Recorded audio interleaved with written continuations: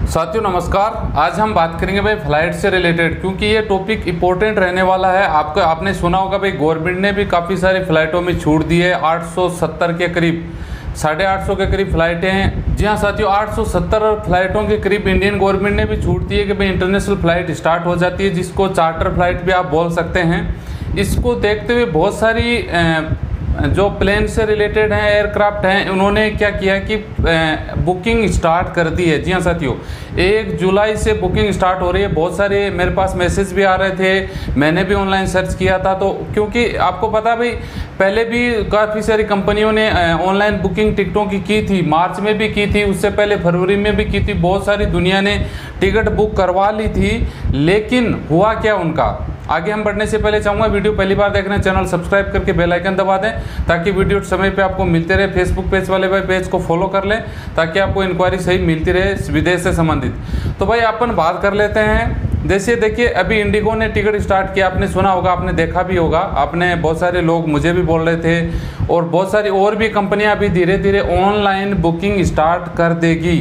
ठीक है? और आपको क्या है कि जल्दी है इंडिया आने के लिए आपको पता ही है भाई। तो आप क्या करोगे? भी अंधे होके टिकट बुक करने लग जाओगे।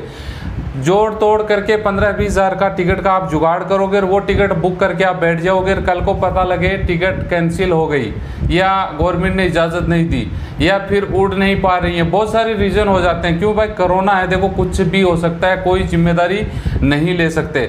अभी तक जो फरवरी में, मार्च में जिन्होंने टिकट बुक करी थी, उनका पैसा रिफंड नहीं हुआ है।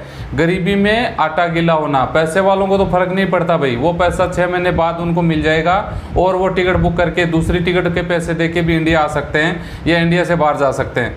लेकिन गरीब लोगों का क्या होगा, जो जोड़ तोड़ करके दो तीन रुपए सैकड़ा में उठा के टिकट का पैसा का जुगाड़ कर रहे हैं, पता लगे कि वो टिकट भी नहीं मिली, टिकट के पैसे भी होल्ड हो गए।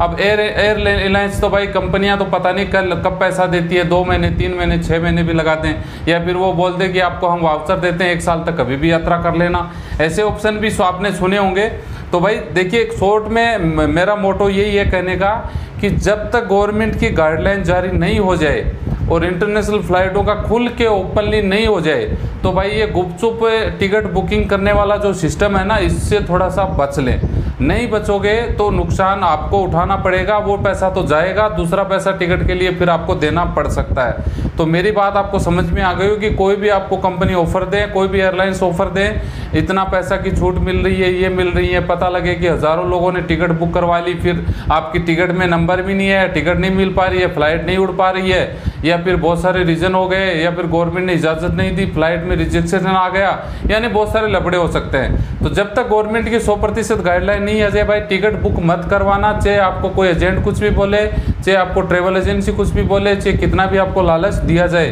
अगर करवाओगे तो आपका पैसा फंस सकता है। कहने का मतलब मेरा यही है। हालाँकि गवर्नमेंट ने 870 की फ़्लाइट स्टार्ट करी है तो बहुत अच्छी बात है। एक जुलाई से उम्मीद भी ये लग रही है भाई कि कुछ अच्छा न्यूज़ आप विदेशियों के लिए आने वाली हैं। तो भाई आप तैयारी करके रहें, पैसों टिकट का जुगाड़ करके पास में रखें, किसी को दे न दें, क्योंकि जब कमान से तीर निकल जाता है, वापस नहीं आता। समझ गए बात को? तो वो फिर ढूंढना पड़ता है तीर को, उसमें टाइम लग जाता है। समझ रहे मेरी बात को? बस आज का वीडियो यही था। वीडियो अच्छा लगे लाइक करें शेयर करें। चैनल सब्सक्राइब करने के साथ बेलाइकन ज़रूर दबा दें, ताकि विदेश से रिलेटेड से इन्फॉर्मेशन आपको मिलती रहे। जय हिंद, वंदे मातरम।